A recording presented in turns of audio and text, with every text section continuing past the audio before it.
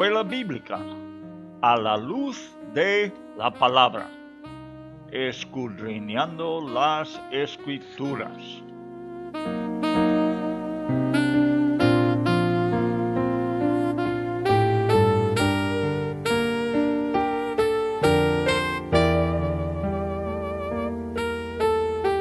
Luz a las Naciones, canal cristiano de comunicación presenta a la luz de la palabra, un estudio expositivo de la palabra de Dios, una presentación minuciosa de toda la escritura, porque es inspirada por Dios y útil para enseñar, para redarguir, para corregir, para instruir en justicia, a fin de que el hombre de Dios sea perfecto, enteramente preparado para toda buena obra.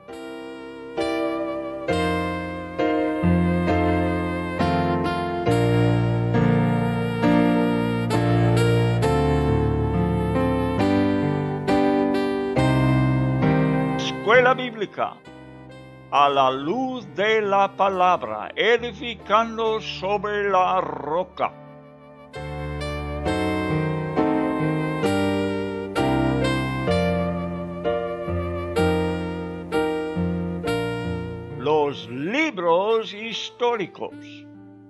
El Dios de la historia.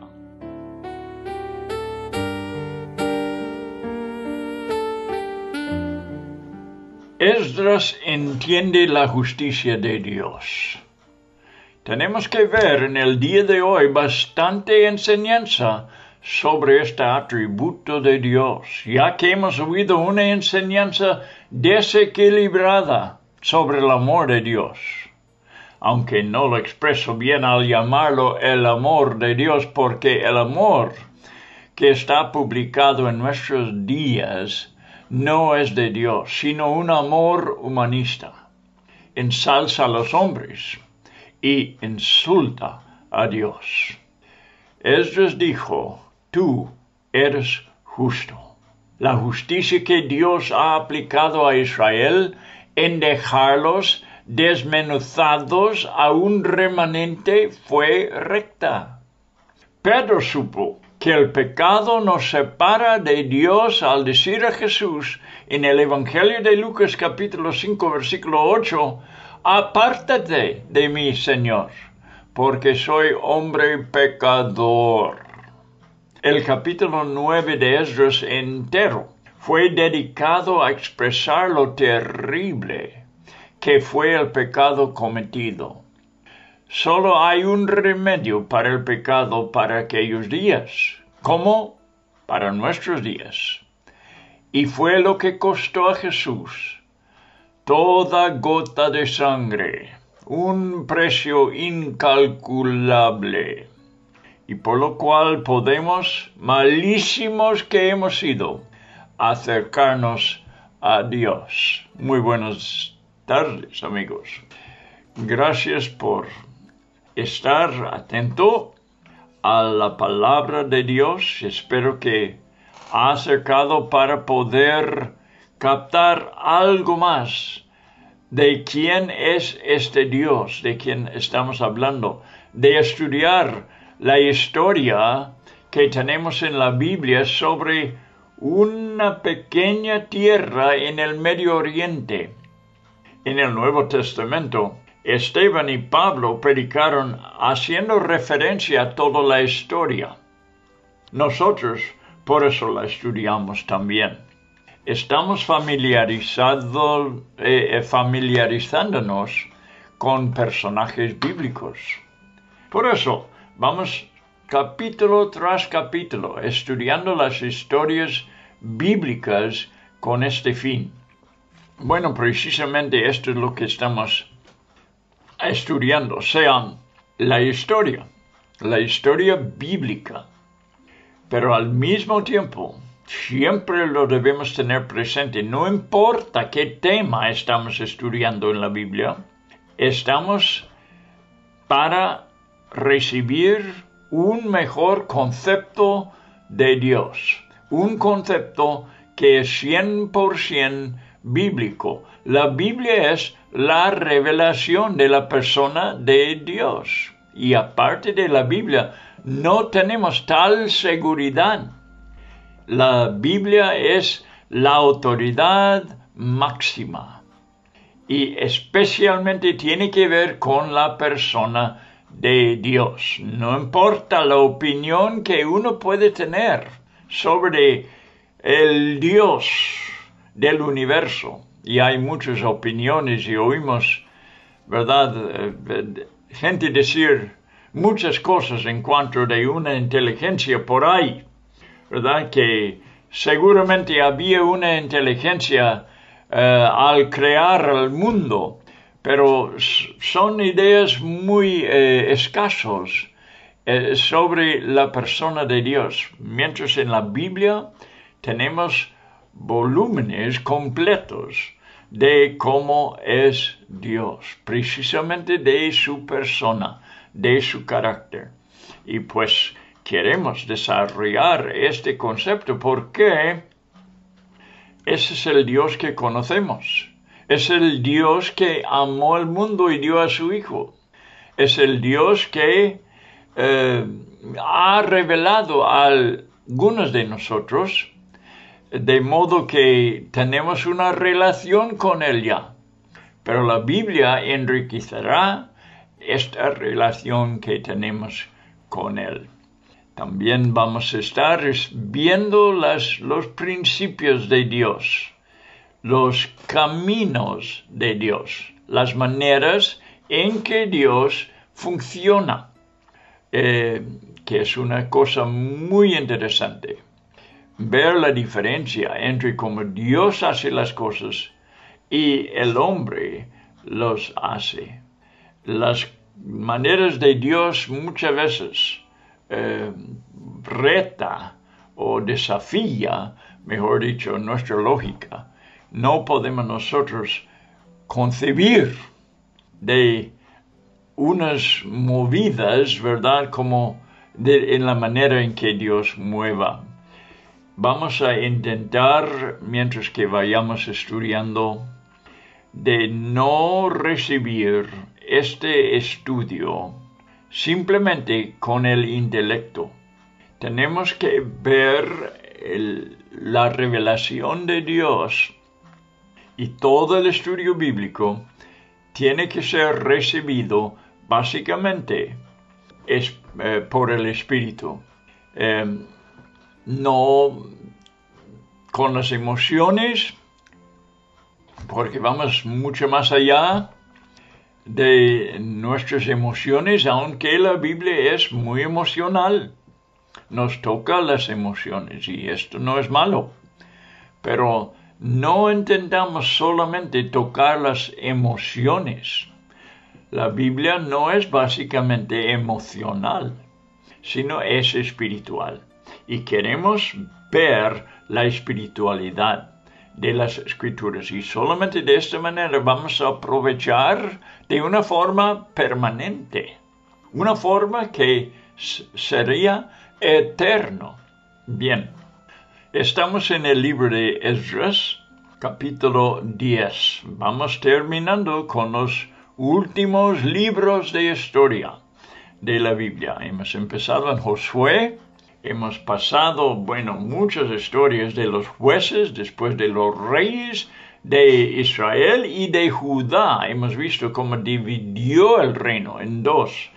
Y hemos hablado de, sobre los reyes, todos los reyes, de las dos áreas, las dos partes de Israel, Israel del norte y Judá en el sur. Y hemos considerado todos los reyes, los hemos estudiado.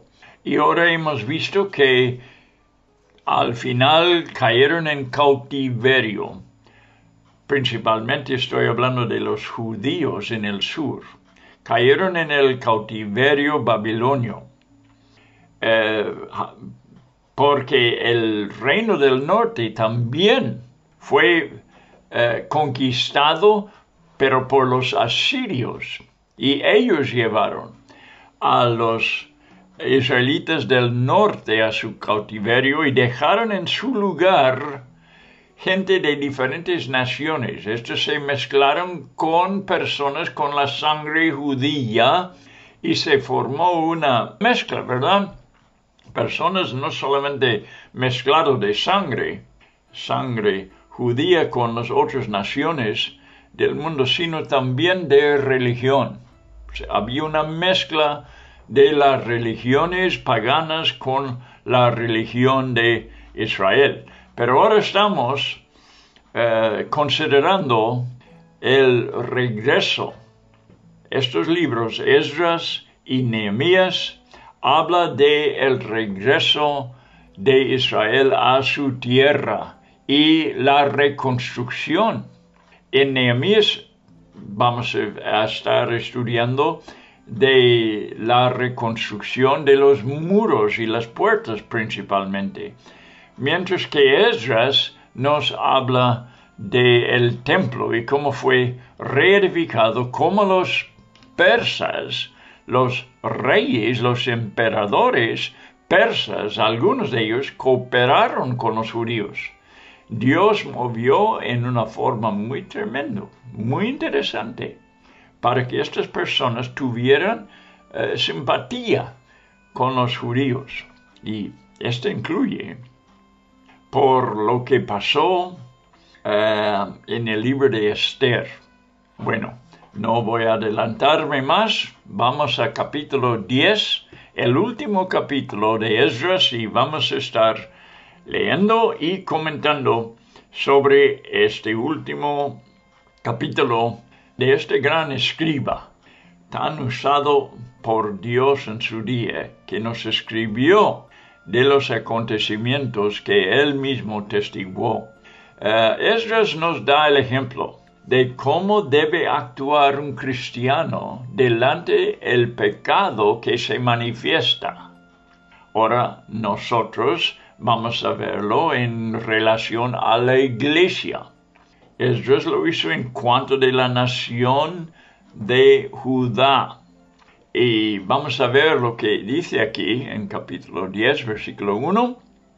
Dice, mientras oraba Esdras y hacía confesión, llorando y postrándose delante de la casa de Dios, se juntó a él una gran, muy grande multitud de Israel, hombres, mujeres, niños, y lloraba el pueblo amargamente. Entonces respondió Secanías, hijo de Jehiel, de los hijos de Elam, y dijo a Esdras, nosotros hemos pecado contra nuestro Dios, pues tomamos mujeres extranjeras de los pueblos de la tierra. Mas a pesar de esto, aún hay esperanza para Israel. Ahora pues hagamos pacto con nuestro Dios, que despediremos a todas las mujeres y los nacidos de ellas, según el consejo de mi Señor, y de los que teman el mandamiento de nuestro Dios, y hágase conforme a la ley. Levántate porque esta es tu obligación y nosotros estaremos contigo. Están animando pues a Esdras a actuar. Esfuérzate, dicen, y pon mano a la obra. Entonces se levantó Esdras y, y juramentó a los príncipes de los sacerdotes y de los levitas y a todo Israel que harían conforme a esto. Y ellos juraron. Se levantó luego Esdras de delante de la casa de Dios y se fue a la cámara de Joanán, hijo de Eliasib. E ido allá, no comió pan ni bebió agua, porque se entristeció a causa del pecado de los del cautiverio.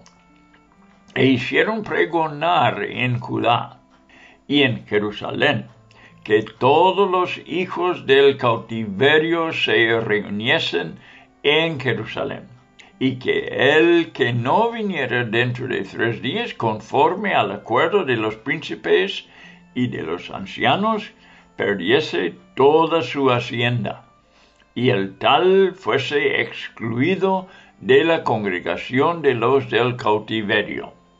Bueno, vemos aquí a Esdras confesando el pecado, llorando, postrado, delante del nuevo templo que apenas fue construido.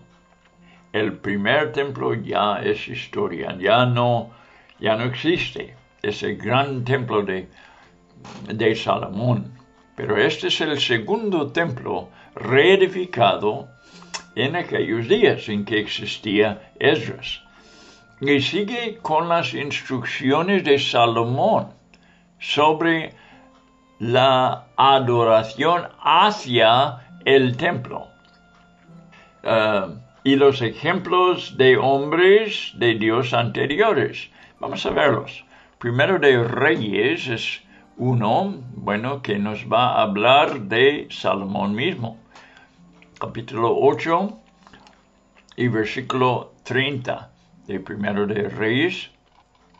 Y dice, Oye pues, la oración de tu siervo está orando Salomón y de tu pueblo Israel.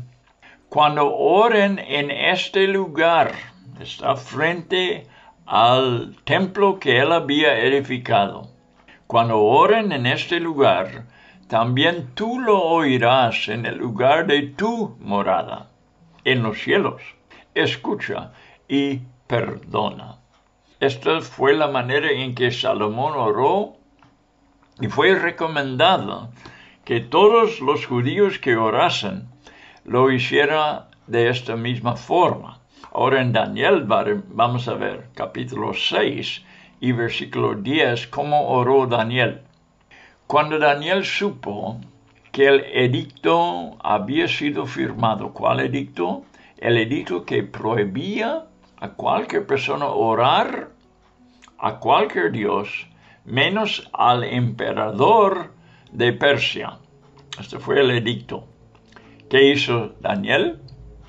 Cuando supo que el edicto había sido firmado, entró en su casa y abiertas las ventanas de su cámara que habían hacia que daban, perdón, que daban hacia Jerusalén abrió las ventanas hacia Jerusalén, orando hacia el templo, ¿verdad?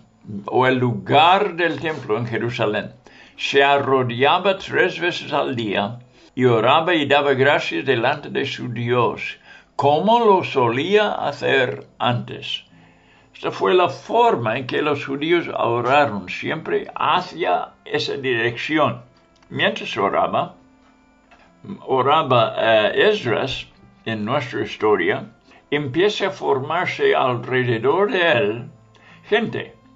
Hasta fue una gran multitud de hombres, mujeres y niños, todos, aún los niños, fíjate, llorando amargamente, lamentando el pecado y sabiendo pues que los resultados las consecuencias tristes del pecado. Es lo que los había llevado al cautiverio en primer lugar. Es lo que trajo la derrota contra Judá y contra Jerusalén. Ahora están otra vez en su tierra y ven que personas entre los principales han pecado. Y, y ven cuánto han sufrido por 70 años y teman que pueda repetirse el mismo castigo. Así que todo el mundo estaban allí, mujeres, hombres, niños, llorando amargamente. Yo creo que los adultos habían instruido a sus niños sobre eh, los resultados eh, malignos por el pecado y les habían instruido sobre eh, la persona Esdras y por qué está allí él tan triste, por qué está orando, por qué está ayunando, se informan a los niños aún y ellos juntan con los adultos en lamentar los pecados. Qué escena más agradable y preciosa en la vista del Dios Santo es una escena como esta. Representan un serio arrepentimiento que es un paso significativo hacia un avivamiento. Es el precio para el avivamiento. Necesita siempre haber un gran arrepentimiento, un profundo arrepentimiento. Si esperamos ver un, eh, un avivamiento en nuestros días, recordamos que empiece con un dolor genuino, como lo que se sentían los padres cristianos de jóvenes que estaban cometiendo suicidio entre los esquimales en el Canadá. Ellos no oraban de costumbre o por un deber, sino que como Esdras salió de un corazón roto y adolorido. No pudieron hacer otra cosa. Resultó un arrepentimiento, como ahora vemos en el capítulo que tenemos por delante. Te aseguro que no procederemos adelante con Dios sin un arrepentimiento, sea entre un cuerpo de personas o sea un individuo.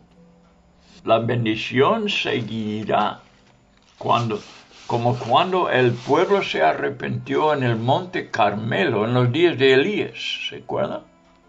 Dijo él, Elías lo dijo, una lluvia grande se oye.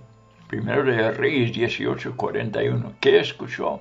No oyó más que las voces de Israel arrepentiéndose. Este fue el sonido de una lluvia grande. Me acuerdo de un día, un domingo semejante, hace muchísimos años, cuando fuimos a la iglesia, domingo por la mañana. Y durante la reunión, mientras que tomamos la Santa Cena, una señora fue delante, llorando amargamente también. ¿Por qué estaba llorando? Por su propio pecado. ¿Cuál fue su pecado?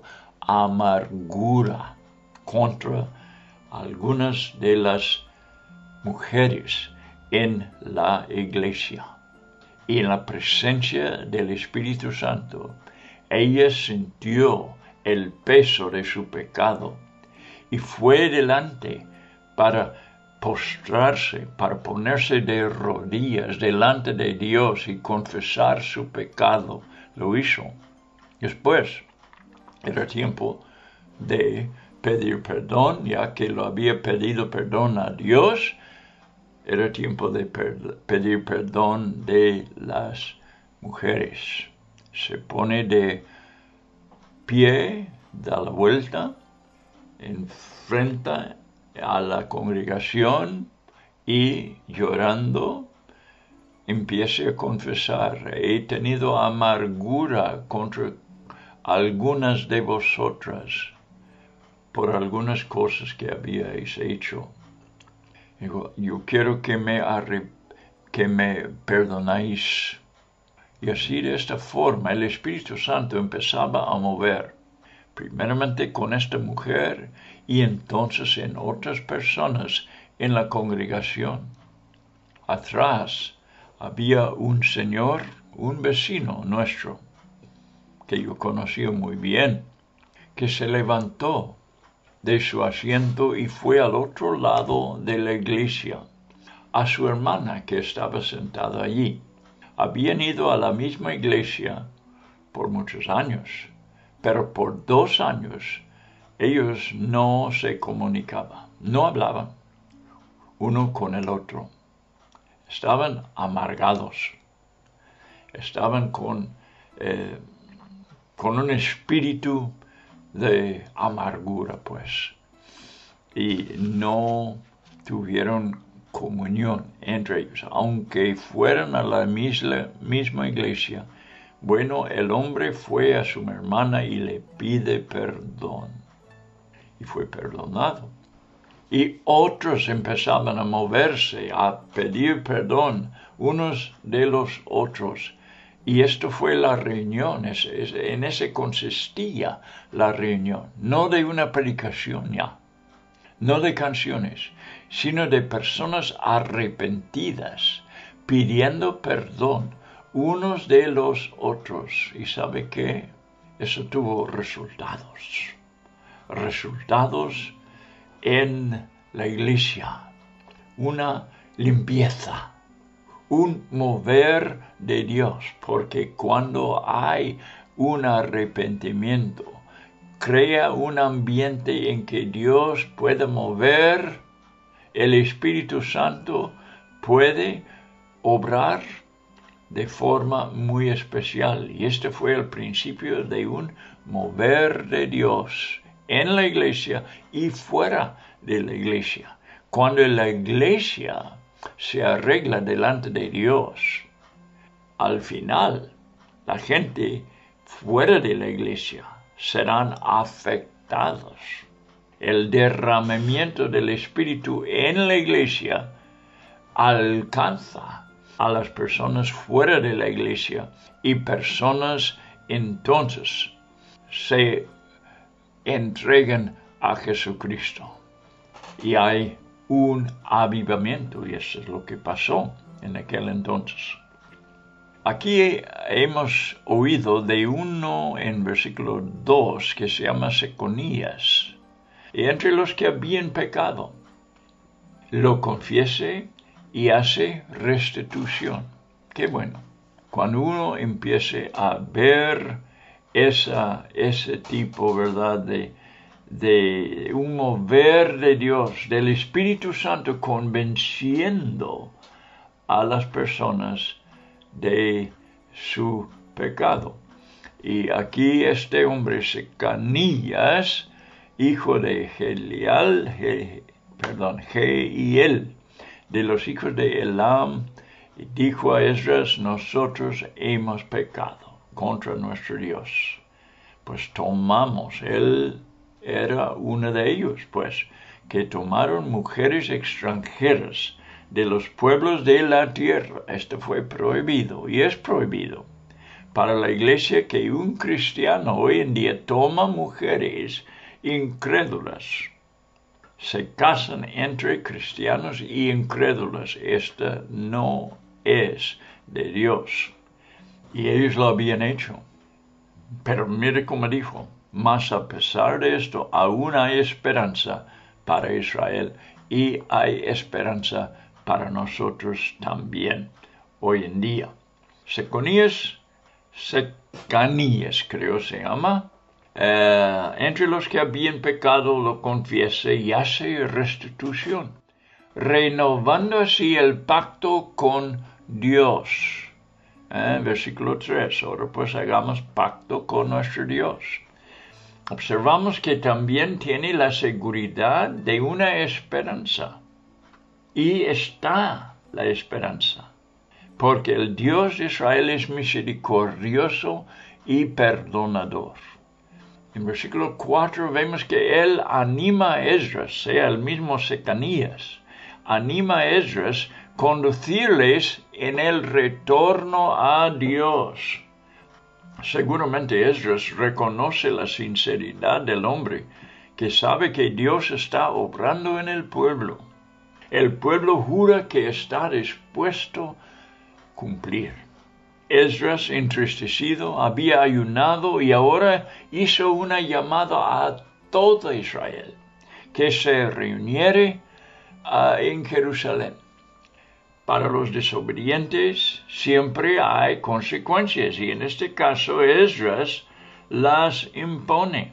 Si el hombre no los exige, Dios lo hará. Por eso es mejor que nosotros tomamos la iniciativa que nosotros juzgamos a nosotros mismos y no dejemos la cosa hasta que Dios nos tiene que juzgar. Fíjate las palabras del apóstol en 1 de Corintios capítulo 11, versículo 30 hasta 32. Escucha muy bien, es muy importante. Por lo cual, dijo Pablo, hay muchos enfermos y debilitados entre vosotros, y muchos duermen. Aquí, al hablar de dormir, está hablando, está usando la palabra que la Biblia muchas veces usa, en lugar de decir morir. Muchos duerman. Palabras muy benignas de parte de Dios, ¿verdad? Pero es lo que había pasado. Gente había aún muerta, como una justicia, como un juicio contra sus pecados. Si pues, Pablo sigue diciendo, nos examinásemos a nosotros mismos, no seríamos juzgados, mas siendo juzgados, somos castigados por el Señor. O sea, es una disciplina de parte del Padre Celestial, pero es para nuestro beneficio. Mira, para que no seamos condenados con el mundo. Bueno, así podemos aplicar la lección que están aprendiendo las personas en el libro de Esdras y aplicarlo a la iglesia, porque es el mismo asunto. No importa si estamos leyendo en el Antiguo Testamento o en el Nuevo. Cuando hay pecado, hay solamente una cosa que podemos hacer. Es confesarlo, reconocerlo, arrepentirnos y hacer, eh, ¿cómo diré? Hacer un pacto de nuevo con Dios para que no volvamos en este pecado. ¿Qué dijo Jesús al hombre que había estado eh, paralizado 38 años, dijo, vete y no pecas más. Tenía que renovar un pacto con Dios para que no se repitiera. Aún algo peor, Jesús le dijo, para que nada peor te pasa. Bueno, en versículo 9 entonces seguimos adelante. Estamos en Esdras capítulo 10.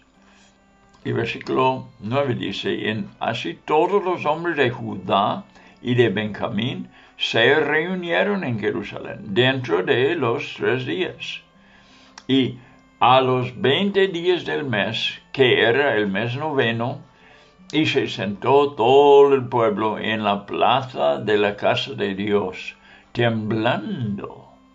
Pero mira, con motivo de aquel asunto y a causa de la lluvia y que había un poco de ayuda eh, en cuanto del tiempo, ¿verdad? La lluvia que estaba cayendo sobre la gente les hizo temblar, pero más que eso, temblando con motivo de aquel asunto. Se junta, se junta la naturaleza con el corazón del hombre, todo cooperando para traer los resultados que Dios quiere de su pueblo.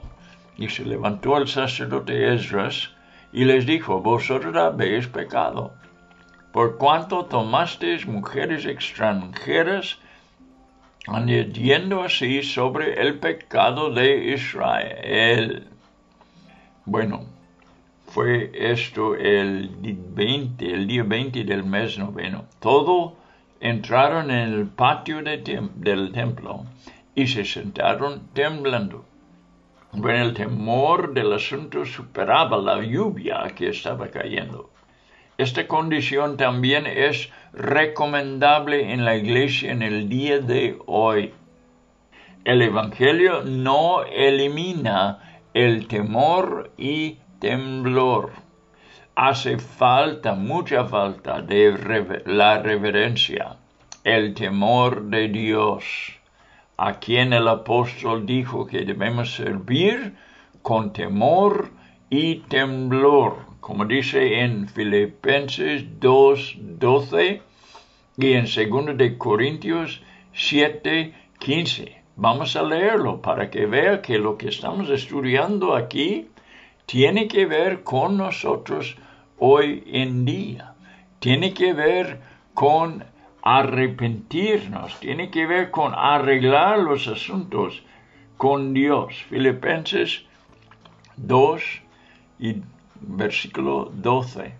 Por tanto, amados míos, dice Pablo, como siempre habéis obedecido, no como en mi presencia solamente, sino mucho más ahora, en mi ausencia, ocupaos en vuestra salvación con temor y temblor.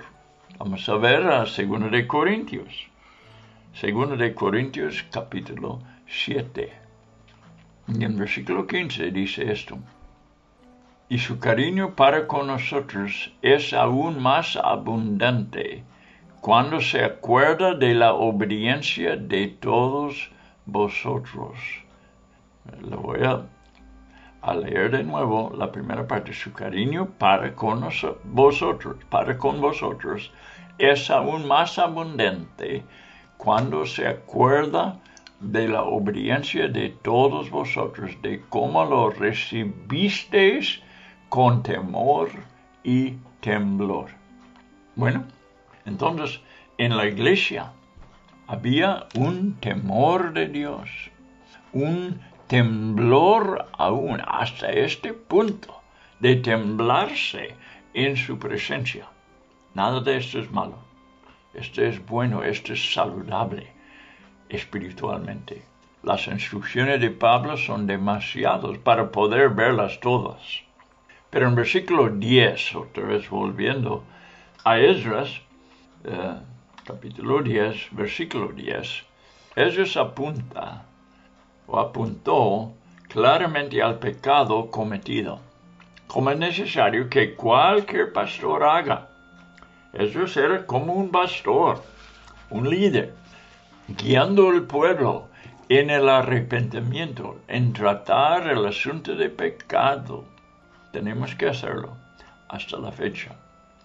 Eh, y, cualquier líder en la iglesia hoy en día tenemos que seguir lo mismo que está haciendo Esdras aquí, apuntando hacia el pecado, exponiéndolo a la luz y tratándolo con bastante cuidado. Esdras apuntó claramente el pecado cometido como necesario que cualquier pastor haga y que lo declara por su nombre, pecado. A veces queremos suavizar palabras, ¿verdad? Y, pero mire aquí, en versículo 10 otra vez, y se levantó el sacerdote Esdras y les dijo, vosotros habéis pecado. No había otra palabra. No fallé, no habéis fallado, no habló de faltas, habló de pecado por cuanto tomaste mujeres extranjeras, añadiendo así sobre el pecado de Israel. Damos gloria a Dios, especialmente a su santidad, tomando una posesión contra el pecado y, según su voluntad, arreglando el asunto. Digo, esto es, esto da gloria a Dios. Esta reconoce y glorifica su santidad. Versículo 11, vamos a leer. Ahora pues dad gloria a Jehová, Dios de vuestros padres, y haced su voluntad, y apartaos de los pueblos de las tierras y de las mujeres extranjeras, arreglándolo están dando gloria a Dios. Nosotros pensamos que dar gloria a Dios es quizás levantar las manos y cantar ciertas canciones que tienen que ver con su gloria.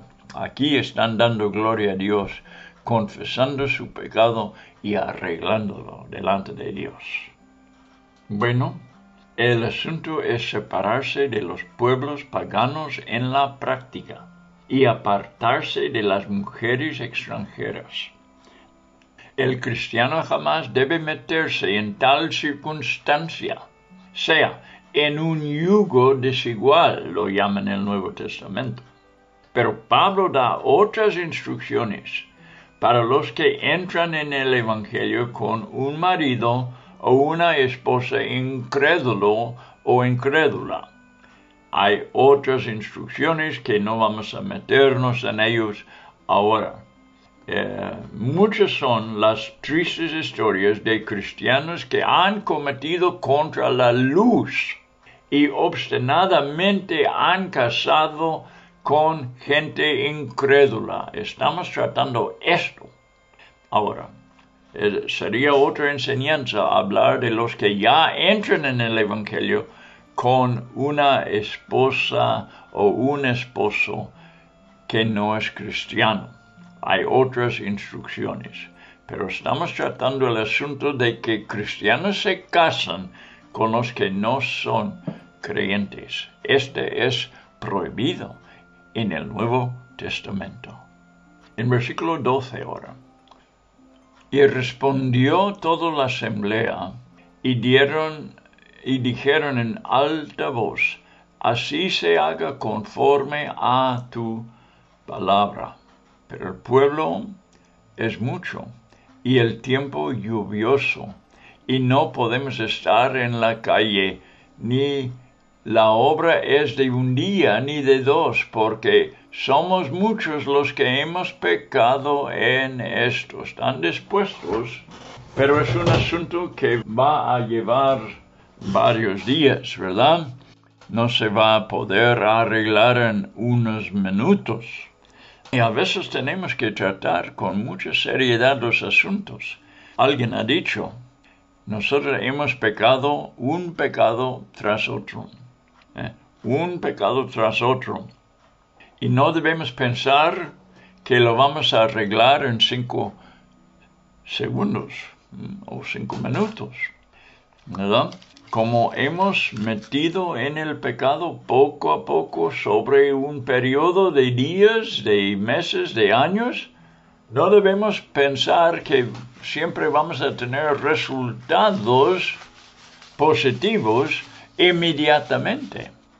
Lleva a veces tiempo arreglando los asuntos. Hazlo, pero que lo vayamos haciendo con seriedad y con mucha precaución hasta sea completamente deshecho el pecado entre nosotros.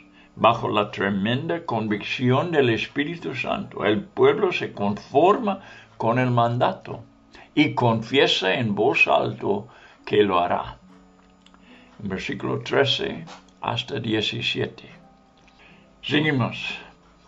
Sean nuestros príncipes los que se queden en lugar de toda la congregación y todos aquellos que en nuestras ciudades hayan tomado mujeres extranjeras, vengan en tiempos determinados y con ellos los ancianos de cada ciudad y los jueces de ellas hasta que apartemos de nosotros el ardor de la ira de nuestro Dios sobre esto. ¿Ves?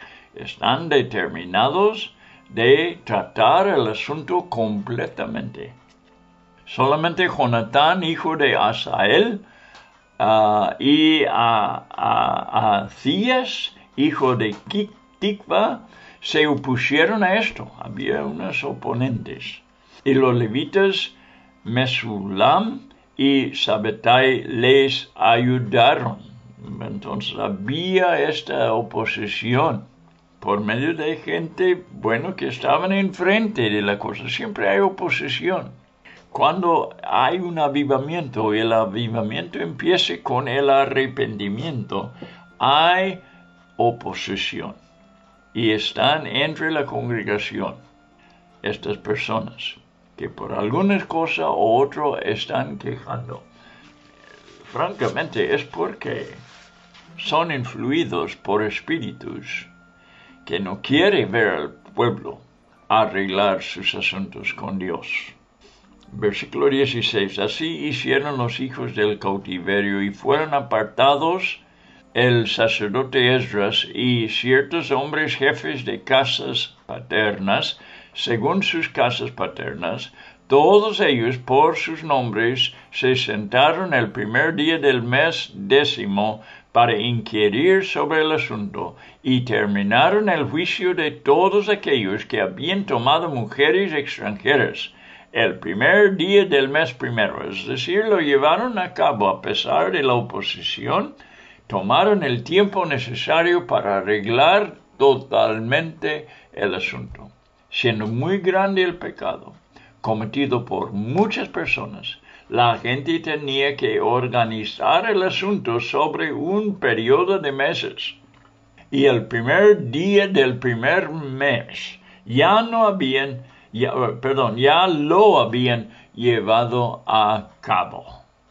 En esa, eh, esa obra se llevó a cabo por un reconocimiento del ardor de la ira de Dios. Había también oposición, como hemos visto, como siempre habrá, y viene de parte de algunos del mismo pueblo. Entonces, empezando el primer día del mes décimo, terminó el asunto porque ya ha mencionado el, eh, como ya ha mencionado, el primer día del primer mes. Entre este periodo habían arreglado este asunto y quedó totalmente resuelto. Seguimos adelante en versículo 18. Tenemos una lista de los sacerdotes ahora, empezando aquí en el versículo 18, que habían tomado mujeres extranjeras. No leeremos todos los nombres de ellos. Prometieron despedir a sus mujeres y ofrecieron un sacrificio por su pecado. Fácilmente, en muchos casos, las mujeres tomadas no eran las primeras ni las únicas esposas de estos hombres, siendo común en aquel entonces la poligamía. Además, con las puertas de la cautividad abiertas, imagino que muchos tomaron ventaja de la situación en su patria con las mujeres de las naciones que moraban allí. Entonces era una facilidad para ellos. Tomar mujeres extranjeras. Y ya te digo, podría ser la segunda mujer o la tercera mujer con la poligamía que había y tenían que deshacerse de estas mujeres. Después tenían que terminar el asunto por medio del sacrificio por el pecado. La lista sigue desde versículo 20 hasta 43. Aunque la lista sea larga, cada persona que pecaba tenía su pecado registrado en su nombre aquí en este capítulo. Enfatiza la complicación del terrible pecado, diciendo que hijos fueron concebidos y nacidos como resultado. Muy complicado. Antes que les juzguemos, demasiado a esas personas y a esos tiempos. Vamos a pensar en los hijos concebidos y abortados en el mundo hoy en día. Vamos a pensar de los jóvenes que no se preocupan por, casarse, que no tienen respeto por el matrimonio. Estas son las complicaciones en nuestros días.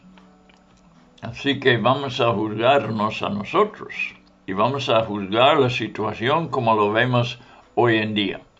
Termina el libro de Esdras con este asunto arreglado.